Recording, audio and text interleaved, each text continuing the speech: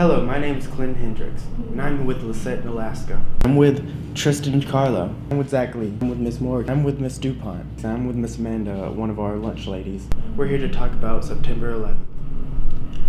What do you know about 9/11, Lisette?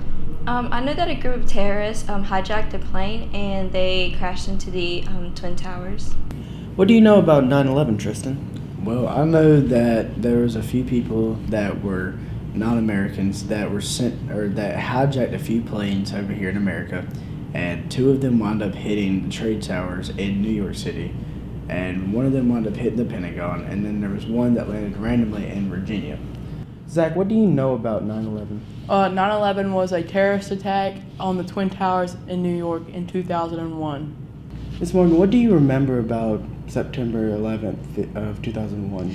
Okay, so um, I was starting my senior year at UGA, and I had an early morning class, so I was on campus that entire morning and um, completely oblivious to everything that was going on. I know when I was going into um, one of my last classes for that day, I can't remember what time it ended, but um, I remember hearing some things, and um, our professor comes in, and he is clearly distraught, and they come around and they're like, everybody needs to go home. We are canceling classes for today.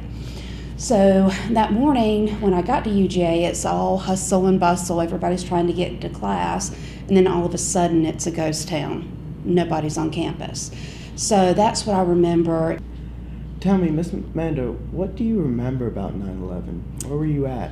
Um, what I remember is I was actually sick at home on the couch with the flu. Um, so I was not at work, and I woke up to a phone call um, from my husband that we had some terrorism and that the Twin Towers, one of the Twin Towers, had gotten hit by a plane.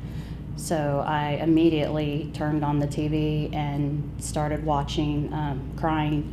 Uh, actually called work, and um, as much as I wanted to come in because I was fevered, I could not. So um, that's where I was at the time. What do you remember about the 9/11 uh, attack? I was in college um, at the time, and I remember that day I was in a geology class, and this was cell phones weren't as prevalent as they are now. So one person had a phone, and um, we got a call, and she's telling everyone in the class that there's been an attack, and they're not sure what it is. So we sat through class, and um, our professor just said, you know, just it's okay, you know, we'll come back, we'll have because we had a class, we went to another class, and then we went to the lab. So he's like, we're going to come back for the lab. And so um, he really just, he kept teaching. So then the next class was my elementary health class, and that professor had been a school teacher, so she was much more kind and caring and considerate. And so we talked about what was going on. And that's when we really kind of found out what had happened because she had been watching the news. So she dismissed us to go home. And, um, but we, we all knew we still had that lab, so we went to the lab and the professor apologized because he said, I didn't realize what was, you know, the magnitude of this. So, um, but we still had class. And then that day, I was supposed to start a job um, waiting tables. So I'd gone to the, the restaurant to work and I stayed for maybe an hour and they sent us home because nobody was out. I mean, it was just the workers standing around. So I went home that day, and my roommate and I, we just sat there and watched TV, and um, just you know all the channels. It was everywhere, and we just sat there in disbelief and just cried. Why do you think it's important for us as students to remember 9/11 and what it stands for? Well, um, I think it's important for us to remember 9 11 because it marks um, history in America and it, um, it marks history in America, and we should also remember the heroes that came out of it and how many American lives were lost and how, and how this brings us together.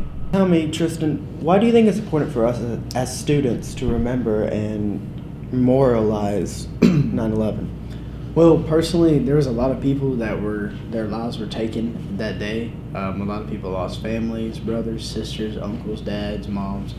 Um, and it also was a very impact, big impact on New York as well because a lot of people were scared at the time because they have no idea when the next terrorist attack or anything like that would happen.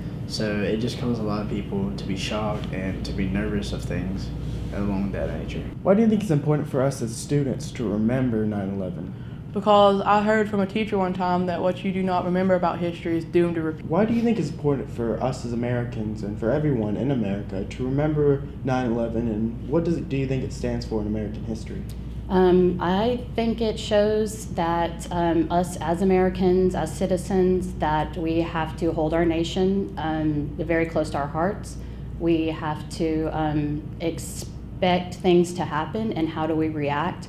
I think that teaching our children about 9 11 and why it happened and how we are going about avoiding it um, in the future is um, very important. And if we don't teach our children our history, then it is uh, it's an injustice to them. So I, I think that just as a nation, we have to show the love and support of what has happened.